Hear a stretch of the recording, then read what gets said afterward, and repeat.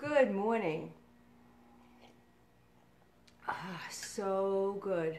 So good. So, today I want to talk about using my shopping metaphor is could you imagine if you could have a grievance form that you could fill out and submit to the customer service person in your brain, whatever is creating your negative self talk, and have compensation for when somebody hurts your feelings. Good morning. So I made up for my workbook when I do a workbook on if you want to go get out of the pizzeria. And one of the exercises is a grievance form. And it asks you to write down what your grievance is, what were your expectations, and basically what would make you feel better if you could get compensation.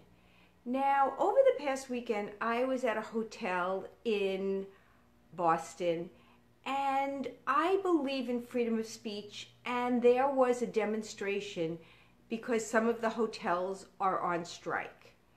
But we were staying close to one of those hotels. There were three of them. So no matter which side of my hotel you stayed in, you heard the demonstration. And on Saturday night, it lasted until late into the morning.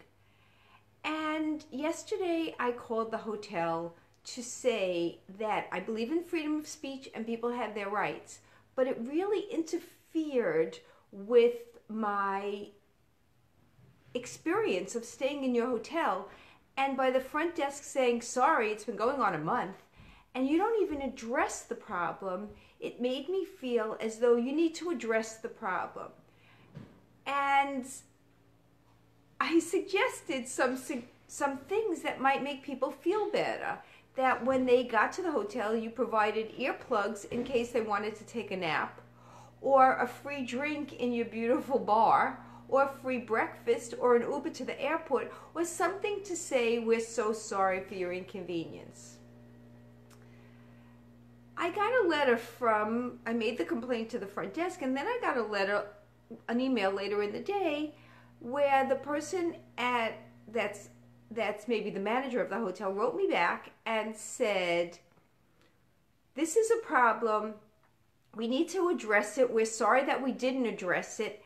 And they decided to give us a discount on the hotel on eating breakfast there, which was really, really surprising to me because I didn't ask for any compensation.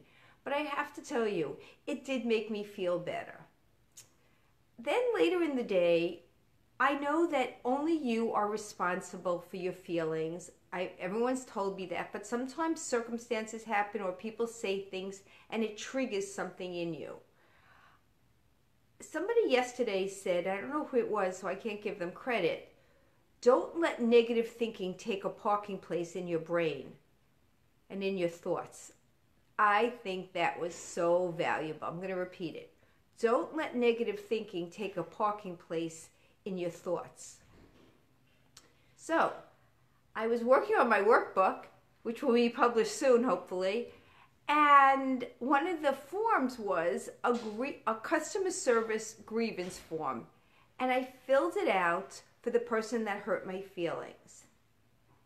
And what I realized is that the, the reparation or what you get back needs to be in your self care.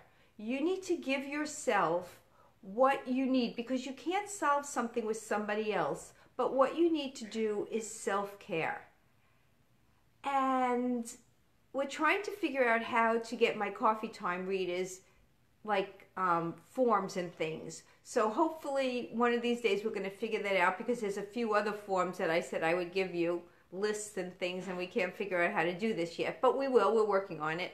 So if you feel that you would like a customer service complaint form to fill out so that you can figure out what self care you need when somebody hurts your feelings, somebody triggers something, an event happens, and it gives you a chance to think of what you need to do so that you can change your attitude, take care of yourself, and not let your negative energy get wasted thinking about that person and how much you're hurt and everything that goes along with that.